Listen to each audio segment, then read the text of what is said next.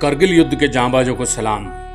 किन विपरीत परिस्थितियों में करगिल के ये हीरोज ने पाकिस्तान को खदेड़ा था, भारत की भूमि से एलओसी पर जिस तरीके से आकर उन्होंने हमला किया था, जिस तरीके से आकर उन्होंने कब्जा करने की कोशिश की थी और जिस तरीके से भारतीय फौजियों ने उन्हें खदेड़ा था, उसकी कल्पना पाकिस्तान कभी सपने में भी नहीं कर सकता था और आगे भी शायद कभी नहीं कर पाए। एक एक गोली का जवाब दस दस गोली से दिया। एक भारत का फौजी शहीद हुआ तो बदले में उसने दस दस फौजियों को पाकिस्तान को मार गिराया। सलाम है हमारे करगिल युद्ध के उन फौजियों को।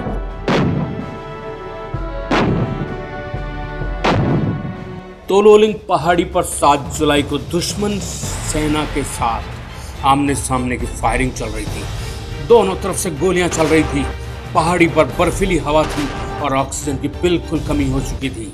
लेकिन भारतीय जाबाजों ने पीछे कदम नहीं हटाया, बल्कि आगे कदम बढ़ाते गए। सीने पर गोलियाँ खा रहे थे, पीठ नहीं दिखाई और गोलाबारी में जवान मारे जा रहे थे, शहीद हो रहे थे। पीने को पानी नहीं मिल रहा था। सत्रह जाट बटालियन के सैनिकों ने सात दिन तक सिर्फ़ बर्फ़ पीकर बिस्किट व ड्राई फ्रूट खाकर दुश्मनों से लोहा लिया। तो लोलिंग पहाड़ी पर विजय पाने तक बटालियन के करीब 20 सैनिक वीर गति को प्राप्त हो गए 50 सैनिक जख्मी हो गए। पाकिस्तानी क्रूरता का अंदाज़ा इस बात से ही लगाया जा सकता है। किसी के पैर, किसी की आँख तो किसी के हाथ तोड़ दिए गोलाबारी से।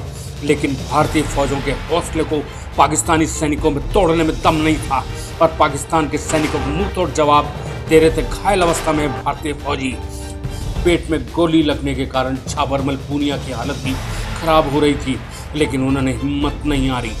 बर्फ़ पर रेंगते हुए एक किलोमीटर दूर मेडिकल कैंप में पहुँच गए और किसी तरीके से उस घटना की सारी सूचना दी और भारतीय फौजी जिस तरीके से शहीद हुए हैं, उसकी जानकारी दी, पाकिस्तानी फौज का हौसला किस तरीके से पस्त किया, उसके बारे में बताया और इस तरह ये जवान दुश्मनों से संघर्ष करते रहे, लड़ते रहे और 25-26 जुलाई की वो रात जब हमें युद्ध जीतने की सूचना मिली।